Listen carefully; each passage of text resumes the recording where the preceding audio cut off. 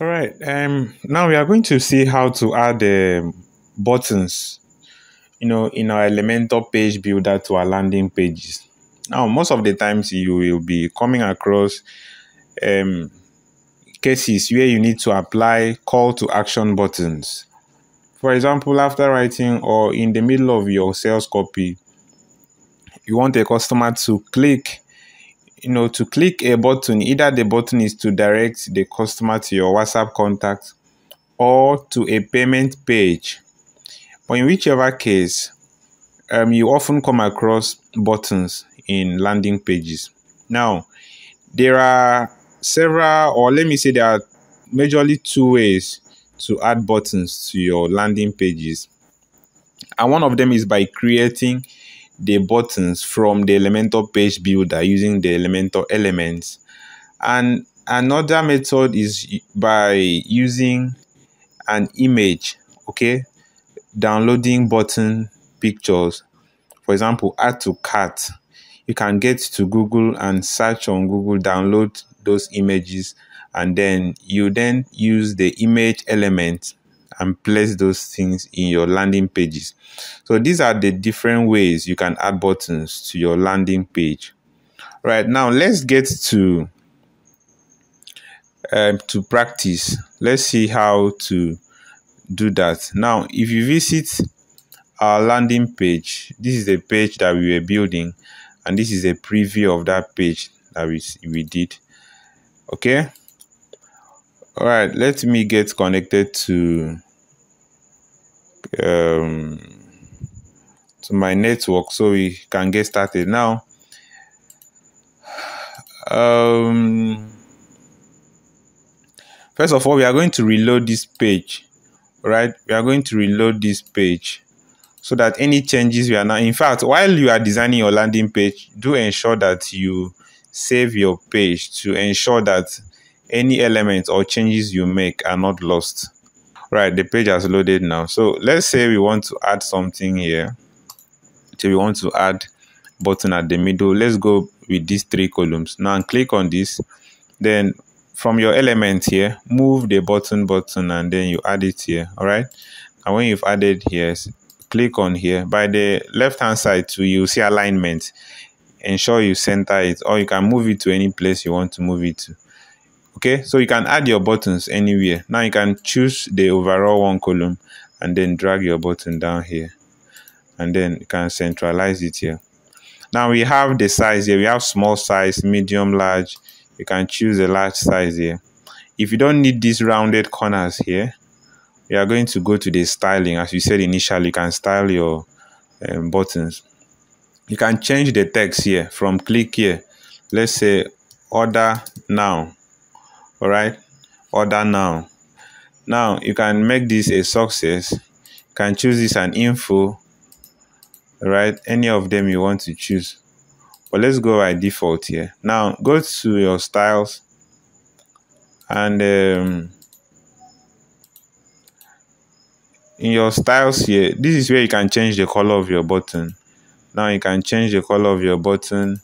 Remember we picked a color here called blue color can pick it here and then you place it here right so this is your color now. Click on update update right so now you can always change the font size here.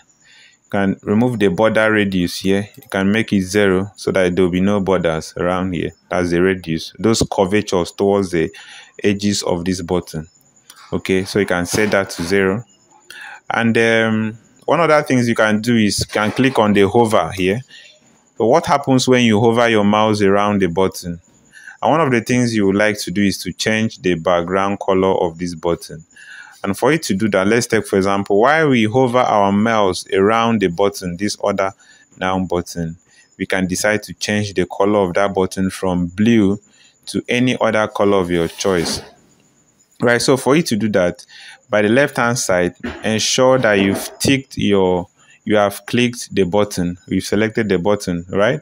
Now in the color click on it and then we can change it to orange color here. So anytime i hover the mouse around that button is going to change the color from blue to orange.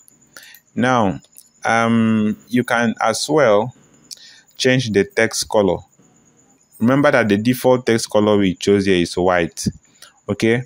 Now when you hover your mouse around the button you can as well change the font color from this white to any other color but i'll be leaving it to white so let's leave it that way. Now we also have the hover animation. Now you can decide to add some animation effects to your buttons. For example you want it to pause. Now when you hover your mouse around it you can see the effect it's having on that button. So we have different types of hover animations around here. So it's left for you to make your choice. We have pop okay? We have pop up here. All right so it's left for you to make your choice and then you go for anyone you want to go.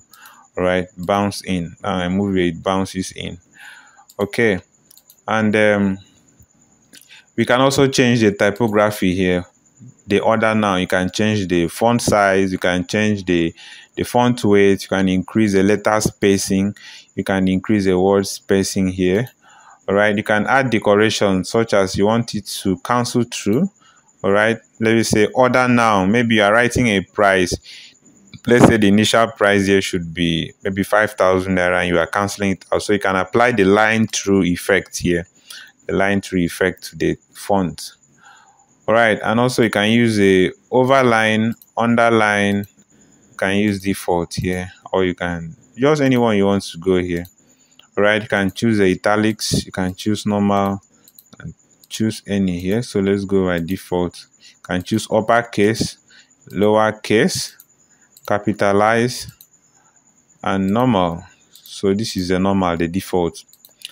Okay now so this is basically how to apply add buttons to our um to our page.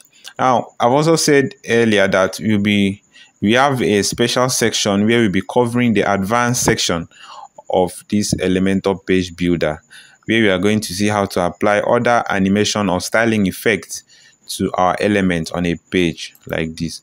So thank you so much for joining me in this lesson and i'm expecting to see you in our subsequent class